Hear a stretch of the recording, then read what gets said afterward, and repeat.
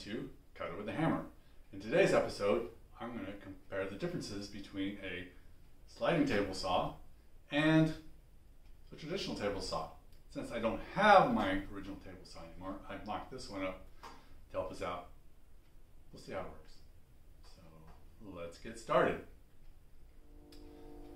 Before we get started on actual comparisons, we'll talk a little bit about uh, cost and delivery time. A sliding table saw in general is not a commodity item. It means you can't go down the store and pick one up like you can like a stop saw or any other saw for the most part, or have it ordered and delivered within a week or so. Um, with exception of, with a few exceptions. Um, they are custom made and so you have to give them the features that you want. The factory makes it, they ship it to you. And if the factory is not in America, then it's got to cross the ocean, which is which is good for three or four weeks. That said, the advantage goes to the traditional table saw because delivery time is going to be rather short. You can go down, you can perhaps get it the same day. Go down to your local uh, woodcraft store, and if they have one in stock, you throw it in the back of your truck and you bring it home. Quite easily done even though Grizzly and Felder have pre-configured saws, uh, I think Grizzlies are mostly pre-configured, but I couldn't swear to that. Um, they're still going to take some time to get it to you.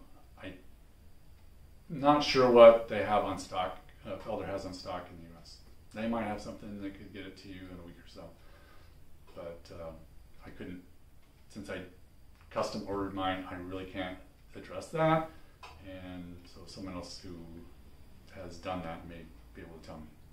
So that said, being a custom saw and the fact that you always have to call for a quote, which traditionally means it's going to cost you more, not always, but usually, uh, the sliding table saw is also going to cost you a little bit more.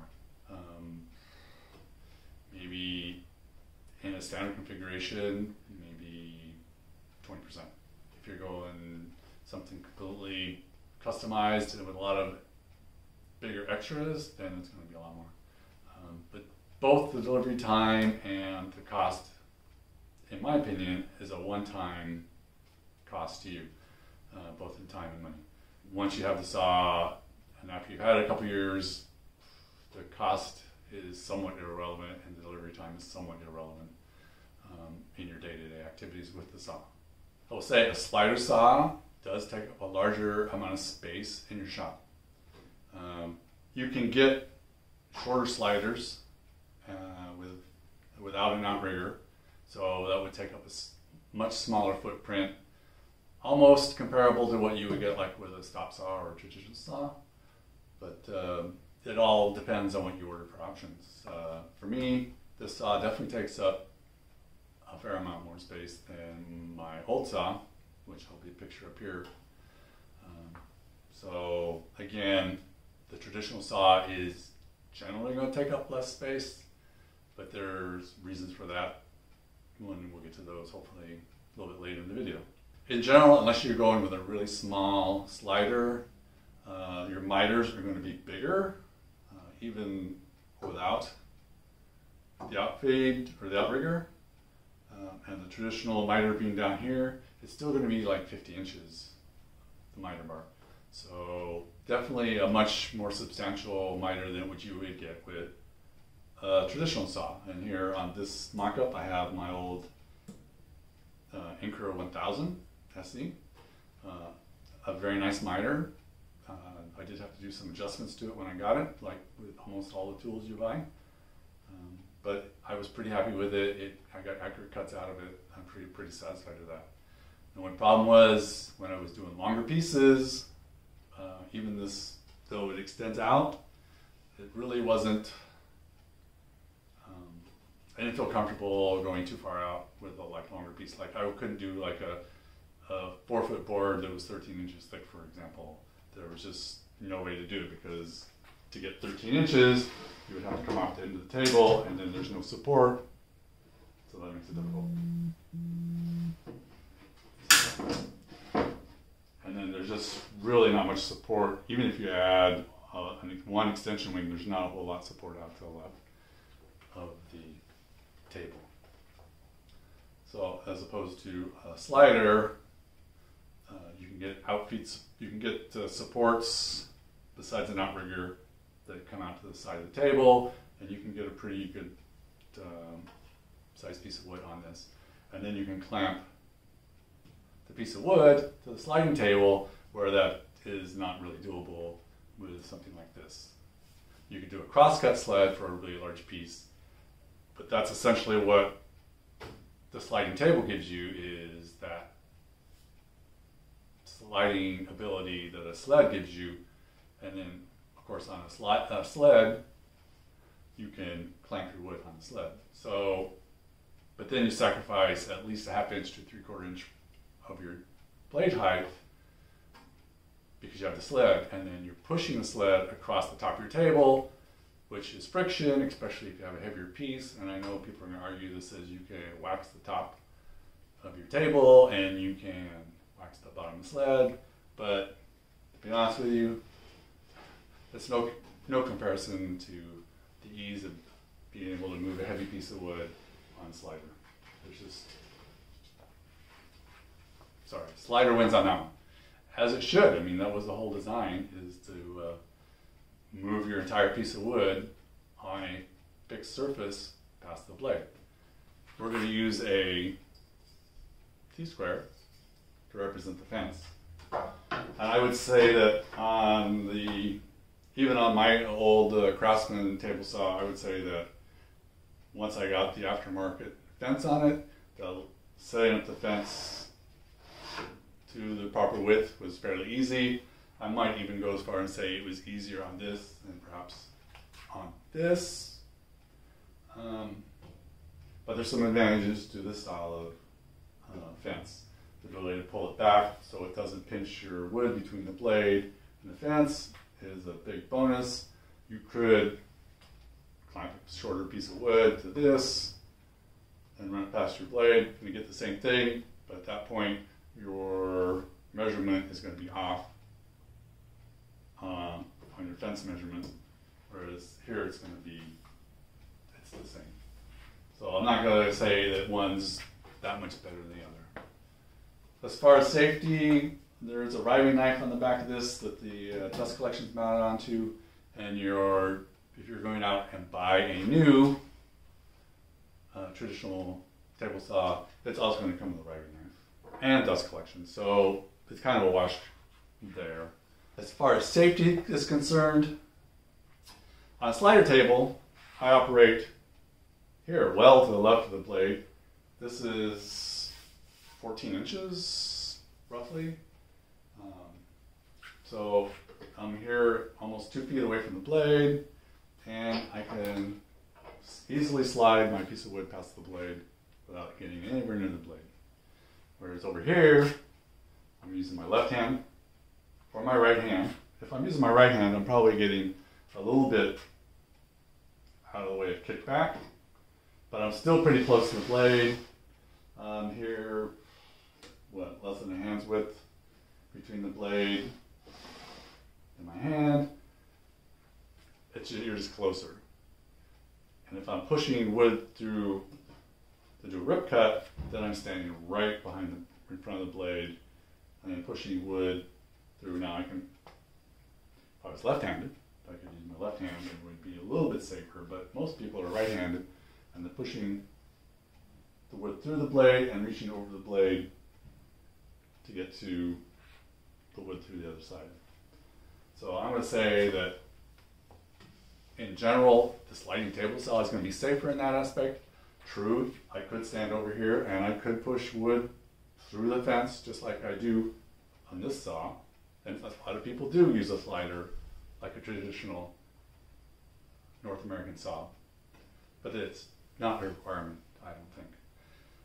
Um, and I'll find out. You know, I've got, I've seen videos, I have some theories in my head about that, but I'm going to say that for safety, the sliding table saw is um, going to be much safer than your traditional saw. Now, I'm not going to discount the fact that the stop saw has their safety feature, And I've seen a lot of hot dogs sacrificed in videos to prove that. And you see a lot of testimonials. Well, I don't know about a lot. You see them every now and again on the woodworking forum saying, the stop saw saved my fingers. But I don't think I've ever run across something where someone on a sliding table saw, using it properly, injured themselves.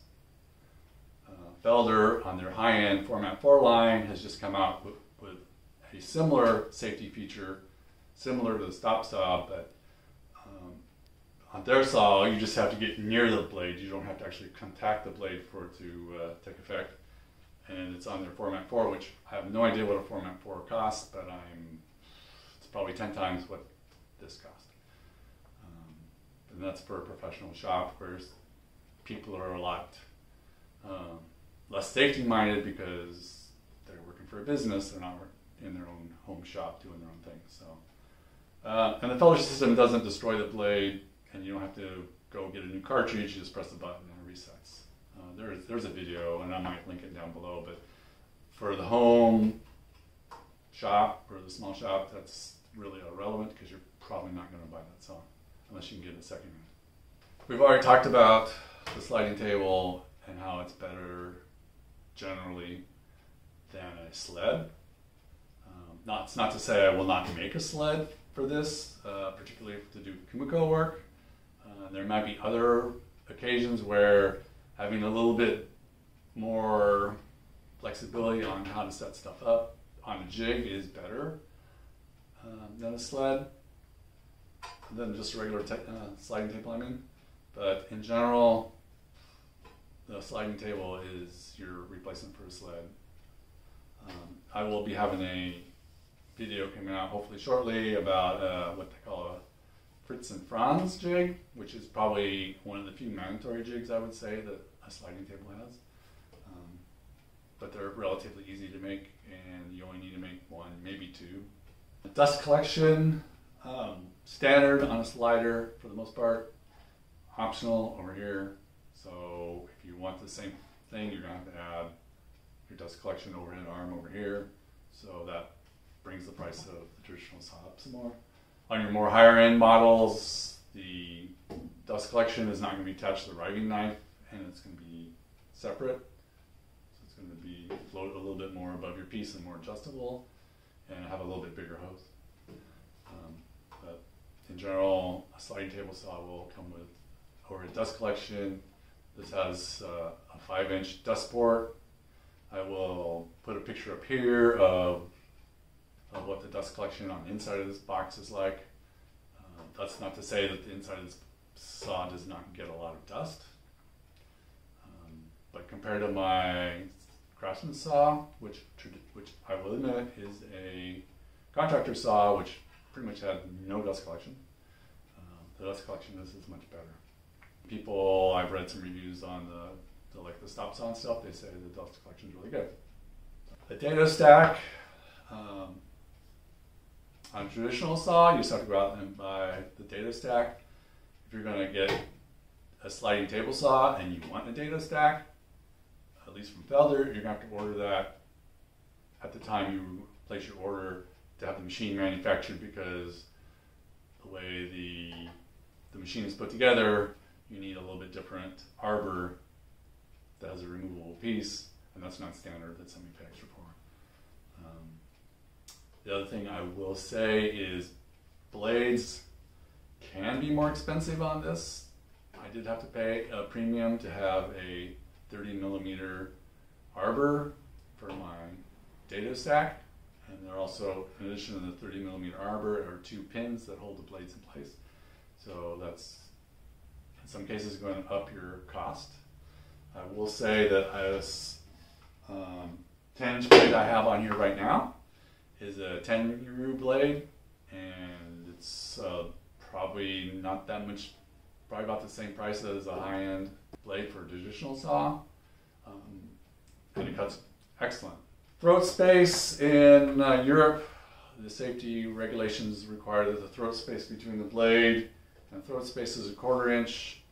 On a traditional saw, they're usually bigger. We're going to call that a wash because most people get zero clearance inserts, including I've got one on my slider, and I had one on my traditional, so there's really not benefit plus or minus either way, other, other than it's probably more expensive on this one. The table size, I mean, most people are not going to buy, if they're going to go out and buy a nice traditional cabinet saw, they're not just going to get just the top. They're going to get extensions um, left and right, or just to the right. Uh, and with the uh, slider, I did get, uh, I also got an extension. I mean, you could come with a smaller one that's only half as deep, but I wanted to get the full, the full extension there. And I'm not sure if that's an advantage or not. I see a lot of people who don't get it, so it might just be a personal preference. Table is a little bit deeper. This is uh, 10 inches deeper, and the blade is set a little bit further forward than it is on a traditional saw. So you're here, almost everything you push off falls off the back of the saw unless you have an outfeed table, and a lot of people do that. Uh, either a, fixed table or a fold-up table, or rollers, and I've talked about rollers in uh, one of my other videos. Uh, on this saw, there's a lot more table, so the piece has to be a lot bigger before it falls off the end. And I did add 800 millimeter outfeed table to help support that, uh, but I also got it mainly because the shaper unit is right here.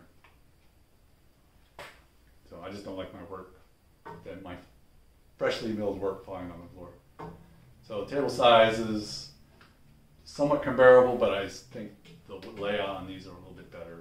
And then you have your sliding table, of course, which is this one's almost this is two meters long and like 14 inches wide, so there's quite a bit of surface area, and you can clamp your uh, material to it. So mobility, uh, mobility kits are add-on accessories for this and for almost all the traditional cabinet saws. You're gonna have to pay extra for a mobility kit, so it's kind of a wash. How often do you move your saw? Probably not very often, but if you have to move it to do something, you gotta you gotta have wheels because chances are once you put the saw in place, unless you have a really large shop, you're gonna need to move your saw. There's always a need to move your saw if you're in a small shop. Now, if you're going to take a, take a lot of uh, lumber that you get that's not already milled, and if you're going to do a lot of woodworking, you probably aren't buying your lumber from uh, Woodcraft or the big box stores. So you're going to go get rough cut lumber, which may have a live edge on one side or maybe bowed. So you're going to rip that into a straight line. Uh, it may be bowed such that it's really would take a lot of passes to the jointer.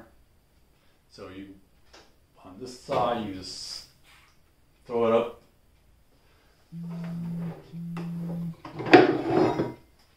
I have a straight line ripping shoe, which you take this off and put this on the end. You wedge your piece of wood up Have these uh, wall clamps that work really well.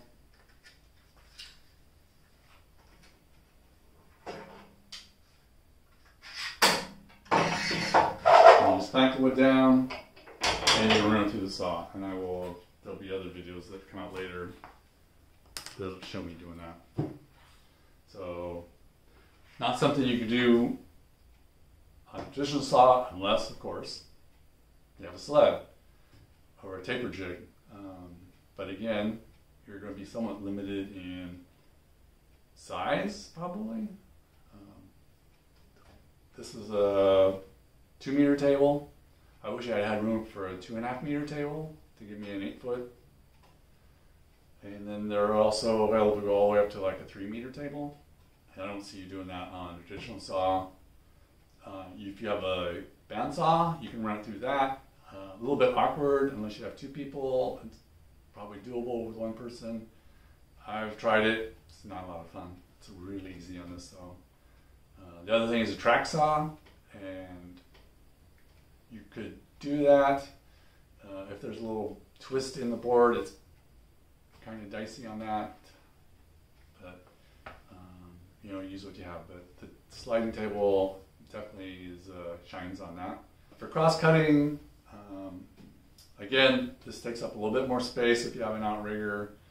Even if you don't have an outrigger, you do have an extra long miter bar, so you have to make sure that there's typically about two meters worth of space to the left of your saw uh, that's clear of at least stuff that's not easy to move, but you can work with a very large material. Like I have, if you look at my projects video, you'll see a walnut coffee table that was made out of a five foot slab walnut that's like 13 to 14 inches wide.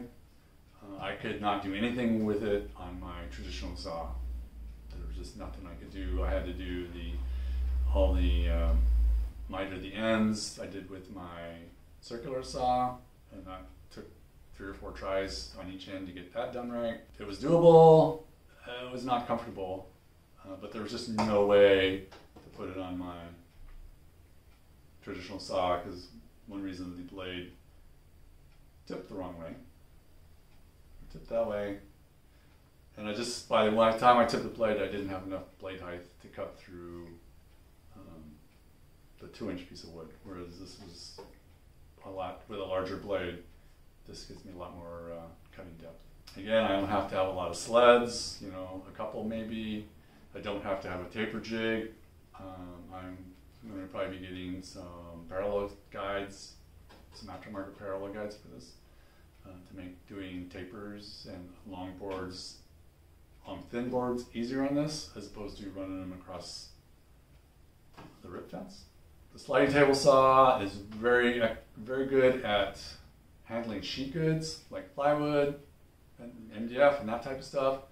They're in America, they're often called panel saws which I think is kind of confusing because typically panel saws are also those saws in Home Depot that stand almost vertical that you go and you get your uh, plywood cut down to size at the store. That's also called a panel saw, so that's kind of confusing to call both of them panel saws. But if you were to go over to Laguna, their sliding table saws are called panel saws.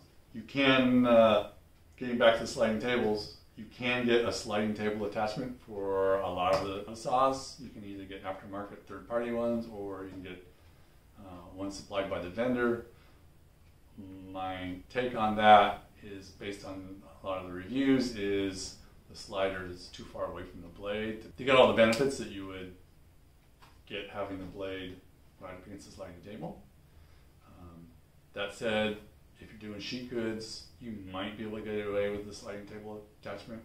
I will put a couple of links in the video um, below to a guy who does have a uh, aftermarket sliding table that he seems to enjoy. I will also put a few uh, links to some videos below. There's one talking about traditional safety on a traditional saw specifically about people who happen to stand in front of the blade. Uh, there's a video showing kickback.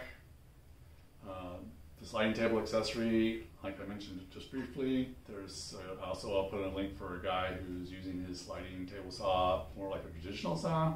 Another kickback video, and I also put a link to the Felder safety device.